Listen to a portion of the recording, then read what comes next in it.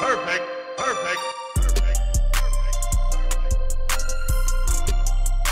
रोज सुबह के नाश्ते में हम हमेशा ऐसी चीज़ चाहते हैं जो हेल्दी हो, साथ में टेस्टी हो, बहुत कम तेल में बन जाए और बहुत झटपट बन जाए आज मैं आपके साथ शेयर करने जा रही हूँ बहुत बहुत tasty healthy super easy recipe जो इतनी टेस्टी होती है कि बड़े तो बड़े बच्चे भी आपसे मांग मांग कर खाएँगे और इस नई रेसिपी का नाम है पोहा वेजी रोस्टी बनाने में बेहद आसान, सुबह का हल्का फुल्का एकदम हेल्दी टेस्टी नाश्ता, जो बहुत बहुत कम ऑयल में आप कभी भी बना सकते हैं। और जब कभी कोई नाश्ता समझ नहीं आएगा आप इसी को बनाना चाहेंगे। तो चलिए शुरू करते हैं। हाय एवरीवन मैं हूँ पारुल। कुक विद पारुल में आपका बहुत बहुत स्वागत है। शुरू करने से पहले फ्रेंड्स आप सभी लोगों से निवेदन है कि अगर आपको मेरे वीडियोस अच्छे लगते हो तो प्लीज़ प्लीज़ लाइक शेयर और चैनल को सब्सक्राइब करना ना भूलें। पोहा वेजी रोस्टी बनाने के लिए यहाँ मैंने लिया है एक कप पोहा। जिसे आप चूड़ा भी बोलते हैं, चिरवा भी बोलते हैं। नमकीन पोहा बनाते हैं ना, बस वही वाला। पोहे से बना हुआ कोई भी नाश्ता हल्का फुल्का और हेल्दी होता है। तो ये मैंने लिया है एक कप। सबसे पहले आप ले एक बोल और उस पर लगाए एक छलनी और पोहे को बढ़िया से वॉश करके हम इसको पाँच मिनट के लिए भिगो देंगे, जिससे कि पोहा थोड़ा नरम हो जाए। और ये देखिए, मैंने अच्छी तरीके से धो करके इसको पानी में भिगो दिया है और आप देख सकते हैं बोल में पानी है, बस इस तरह रख दिया है। ऊपर ऊपर इसमें पानी आ गया। इस तरह से हमें इसको उठाना बहुत आसान हो जाएगा। पाँच मिनट बाद कुछ मेहनत नहीं करनी पड़ेगी। तो बस पाँच मिनट के लिए इसको सोक होने देते हैं। अब ये मैंने लिया है एक मीडियम साइज़ का उबला हुआ आलू। आलू से जो रोस्टी है, उनमें जो टेस्ट आएगा इतना लाजवाब लगेगा कि कोई भी बहाना नहीं करेगा नाश्ता करने के लिए। तो आलू को बस ऐसे ही रफली छोटे पीस में कर ले आप अब जैसे ही मैंने एक मीडियम साइज़ का आलू लिया, आप दो छोटे छोटे आलू हो, वो भी ले सकते हैं। और ये देखिए, पाँच मिनट बाद आप देख सकते हैं, पोहा बिल्कुल बढ़िया से सोख हो गया है, यानी फूल गया है। मैंने इसका पानी फेंक दिया था तो पोहे को कर लेते हैं अलग। अब आप लीजिए एक ग्राइंडिंग जार और इसमें हम डाल देंगे हमारा सोक्ड पोहा। साथ ही इसमें जाएँगे उबले हुए आलू, जो भी हमने काट के रखे थे ना, वो अब सारे पीसेज आप इसी में डाल दीजिए। आसानी से पूरे ब्लेंड हो जाएँगे। अब इसको अच्छी बाइंडिंग और इसको क्रिस्प बनाने के लिए मैंने यहाँ ली है सूजी। कोई भी घर में जो सूजी हो, वो आप ले सकते हैं फाइन या मोटी। फाइनली हमें पीसनी है। तो इस चम्मच से मैं डाल रही हूँ तीन बड़े चम्मच। और अपने पोहा रोस्टी को और भी ज़्यादा न्यूट्रिशियस बनाने के लिए, इसको इनहेंस करने के लिए इसका फ्लेवर मैं डाल रही हूँ तीन बड़े चम्मच ओट्स बिल्कुल ऑप्शनल है, आपके पास घर में ओट्स हो तो डालिए, नहीं हो तो कोई प्रॉब्लम नहीं। सिंपल आप फिर पाँच चम्मच सूजी डाल करके बना सकते हैं। और आप बगैर सूजी के सिर्फ़ ओट्स और पोहे से भी इसको बना सकते हैं। ओट्स में होता है ढेर सारा फाइबर और प्रोटीन तो आपके सुबह के नाश्ते को ये और भी ज़्यादा रिच बना देता है, न्यूट्रिशियस बना देता है। एकदम सॉफ्ट और फ्लफी हमारे पोहा रोस्टी तैयार हो तो उसके लिए मैं डाल रही हूँ आधा कप दही। मान के चलिए पाँच से छह बड़े चम्मच में दही डाल रही हूँ। ये मैं फ्रेश दही ले रही हूँ। थोड़ा सा खट्टा दही हो तो वो भी चलेगा। अब आप डालें इसमें आधा कप के करीब पानी थोड़ा थोड़ा करके डालेंगे और इसका एकदम स्मूथ बैटर तैयार करेंगे। जैसे डोसे के लिए करते हैं ना, बिल्कुल वैसे ही, ना बहुत ज़्यादा पतला, ना बहुत ज़्यादा गाढ़ा।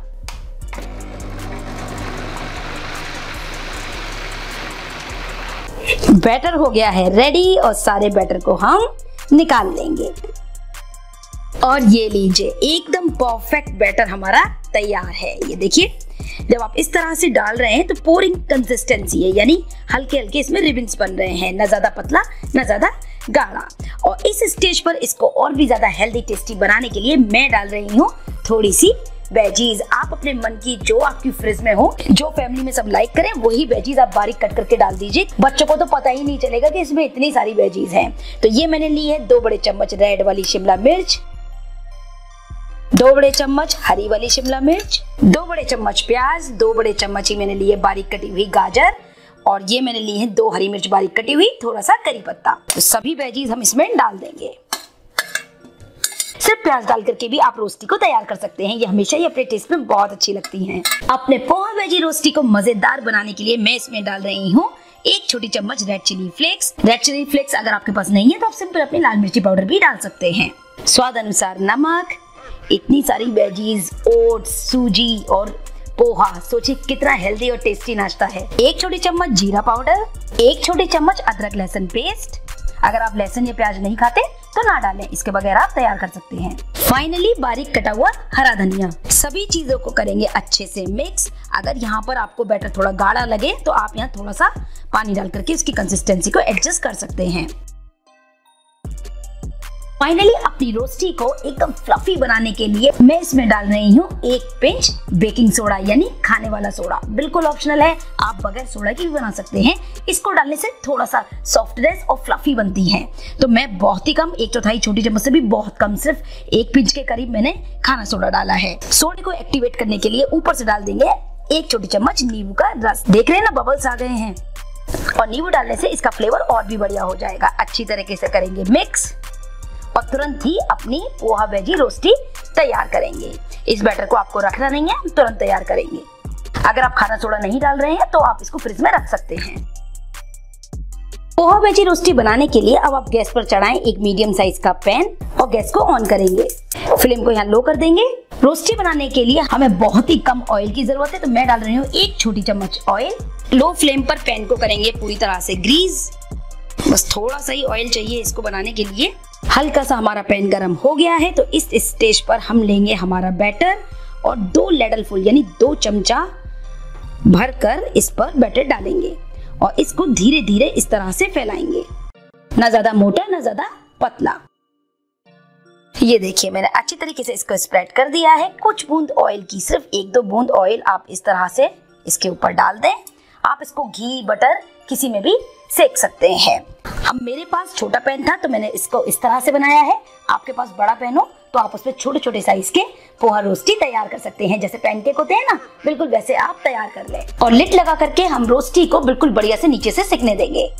लगभग दो से तीन मिनट हो गए हैं तो चलिए चेक कर लेते हैं।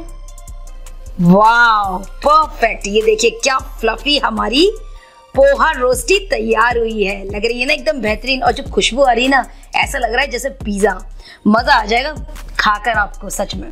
तो बस इस स्टेज पर धीरे से आप, क्योंकि सॉफ्ट बहुत होती है ना, पोहे की है, इसको हम उठाएँगे और पलट देंगे। सुपर। मैं आपको पास से इसका कलर दिखाती हूँ। ये देखिए। लग रही है ना एकदम जालीदार, मस्त इस एक ही पोहा वेजी रोस्टी में आपको मिलेंगे ढेर सारे स्वाद। इडली का भी, उत्पम का भी, पिज्जा का भी मज़ा आ जाएगा। तो बस इस तरह से आप इसको नीचे से भी सिकने दें। अगर आपको ज़रूरत लगे ऑयल की या घी की, तभी आप डालें, वरना इसको बनाने के लिए बहुत ही कम ऑयल की ज़रूरत है। ये इसी तरह आप इसको सेक सकते हैं। देखिए कितनी फ्लफी बनी है। अब इसके ऊपर आपको नीचे से सेकने के लिए लिड लगाने की बिल्कुल आवश्यकता नहीं है। इसी तरह लो फ्लेम पर आप दो मिनट नीचे से भी सेकने दें। अगर आपको ये फील हो कि पोहा वेजी रोस्टी थोड़ा सा टूट सी रही है तो आप थोड़ी सी सूजी की मात्रा और बढ़ा लें। बिल्कुल परफेक्ट आपके रोस्टी तैयार होंगे। तो लीजिए हमारा वेजी पोहा रोस्टी है, बिल्कुल तैयार। मैं आपको पलट करके भी दिखा देती हूँ। एकदम परफेक्ट रोस्टी तैयार हुआ है। सुपर। ये देखिए, कितना प्यारा बैक साइड भी कलर आया है।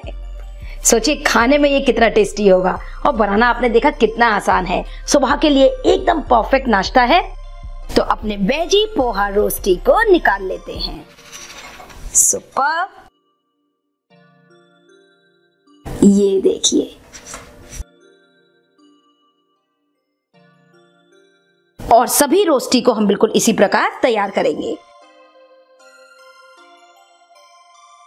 और अब इस पर लगा देंगे लो फ्लेम पर दो से तीन मिनट के लिए लेड जब तक हमारा सेकंड पोहा वेजी रोस्टी सिक रहा है, फटाफट बनाते हैं अपने वेजी रोस्टी को और भी ज़्यादा सुपर टेस्टी बनाने के लिए, उसका साथ देने वाली इंस्टेंट चटनी। इसे खाकर मज़ा आ जाएगा। फटाफट वाली चटनी बनाने के लिए सबसे पहले गैस पर आप रखें एक कढ़ाई और कढ़ाई में हम डालेंगे एक बड़ा चम्मच ऑयल ऑयल को गर्म होने देंगे मीडियम फ्लेम पर. South Indian style multipurpose chutney बनाने के लिए ये मैंने लिए हैं दो मीडियम साइज़ की प्याज जिसे मैंने रफली कट कर लिया है, दो छोटे साइज़ के टमाटर जिसे भी मैंने रफली कट कर लिया है और चार सूखी लाल मिर्च. तो सबसे पहले गरम तेल में हम डालेंगे सिर्फ़ प्याज. अभी टमाटर नहीं डालेंगे. और प्याज को मीडियम फ्लेम पर बढ़िया से गोल्डन होने तक भूनेंगे। बहुत बढ़िया चटनी लगती है। जब आप इसे खाएँगे तो आपको मन करेगा कि आप रोटी पराठे भी इसी से खा लें। मज़ेदार चटनी। इस बड़ा वाली चटनी को आप इडली, डोसा, पकौड़ा, भजिए किसी के साथ भी सर्व कर सकते हैं और इंजॉय कर सकते हैं। ये देखिए, जब आपकी प्याज इस तरह से थोड़ी सी ट्रांसलूसेंट यानी ट्रांसपेरेंट सी आपको लगने लगे, थोड़ी पक जाए, तब इसमें हम ऐड करेंगे चार सूखी लाल मिर्च, जो भी मैंने आपको दिखाई थी ना। और लाल मिर्च को भी लो फ्लेम पर बढ़िया से प्याज के साथ भून लेंगे। और जैसे कि अभी आप देख सकते हैं कि प्याज में बढ़िया गोल्डन कलर आ गया है तो बस इस स्टेज पर इसमें हम ऐड करेंगे दो टमाटर, जिसे मैंने चॉप कर लिया था। टमाटर डाले हैं तो साथ ही जाएगा इसमें नमक। तो मैं डाल रही हूँ एक छोटी चम्मच स्वाद अनुसार नमक। अब एक बहुत ज़रूरी चीज़ जो इसको ज़बरदस्त फ्लेवरफुल बना देगी, वो है दो बड़े चम्मच चना दाल। साबित चना दाल, जिस बिल्कुल कच्ची चना दाल मैंने ली है, बस आपको डायरेक्ट डालनी है, पोछ लीजिए और डायरेक्ट डाल दीजिए। धोना और भिगोना बिल्कुल नहीं है चना दाल को। इसमें ये डालना बहुत ही ज़रूरी है, जिसकी वजह से बहुत ही अच्छा फ्लेवर आएगा, साथ ही गाढ़ापन मिलेगा। और फिर जब आप इससे कोई भी चीज़ खाएँगे स्पेशली मसाला वड़ा, एकदम वही जो आप होटल या बाज़ार में खाते हैं, बिल्कुल वैसे ही आपको मसाला वड़ा लगेंगे इस चटनी के साथ। अच्छे से अब हम पकाएँगे, जिससे कि ये जो टमाटर हमने डाले हैं, वो बढ़िया से मछी से हो जाए, यानी एकदम सॉफ्ट हो जाए। बिल्कुल बढ़िया टमाटर हमारे पक गए हैं, जैसे कि अभी आप देख सकते हैं। एकदम बढ़िया लग रही है ना चटनी। अब इसमें मैं डाल रही हूँ खट्टेपन के लिए थोड़ा सा इमली का पेस्ट। आपको अगर खट्टा पसंद है तो आप डालिए, वरना आप बिना इमली के भी तैयार कर सकते हैं। और अच्छे से इसे कर देंगे मिक्स। मान लीजिए आपके पास घर में इमली नहीं है तो यहाँ पर आप चाहें तो थोड़ा सा नींबू का रस भी डाल सकते हैं। बस अब ये हो गई है बिल्कुल तैयार। तो हम कर देंगे गैस को ऑफ़। और इसको होने देंगे पूरी तरह से मिक्स हो गया है हमारा ठंडा चटनी का और आप लीजिए एक ग्राइंडिंग जार और ग्राइंडिंग जार में हम सारे ही मिक्स को डाल देंगे। और एकदम फाइन चटनी की तरह इसको पीस लेंगे। और लीजिए वड़ा वाली चटनी है इंस्टेंट बनकर बिल्कुल तैयार। और ये देखिए इसका टेक्सचर इतनी टेस्टी होती है, आपको मन करेगा कि खाना भी इसी से खा लें। इसको पीसने में पानी की ज़रूरत पड़ती नहीं है, लेकिन अगर आपको ज़्यादा थिक लगे तो आप थोड़ा सा पानी डाल सकते हैं। और इसको मैं निकाल लेती हूँ इस तरीके के एक ग्लास वाले कंटेनर में, जिससे कि मैं इसको बाद में फ्रिज में स्टोर कर पाऊँ।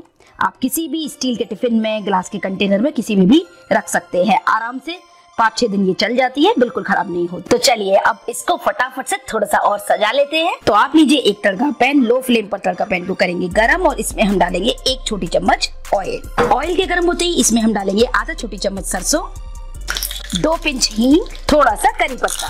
तो लीजिए फ्लेवरफुल तड़का है, बिल्कुल तैयार। और तड़के को डाल देंगे हमारी ज़बरदस्त टेस्टी इंस्टेंट चटनी के ऊपर। लीजिए। तैयार है हमारी इंस्टेंट चटनी। बहुत बहुत टेस्टी तो बस इस तरह बना करके आप इसे स्टोर कर लीजिए फ्रिज में पाँच से छह दिन के लिए। और एंजॉय कीजिए किसी भी चीज़ के साथ। और ये लीजिए, हमारा दूसरा वाला पोहा बेजी रोस्टी भी है, बिल्कुल तैयार। और अपने नाम की तरह इसका कलर भी एकदम रोस्टेड आया है। देख रहे हैं ना आप कितना प्यारे लग रहे हैं। सुपर तो चलिए इसे भी निकाल लेते हैं।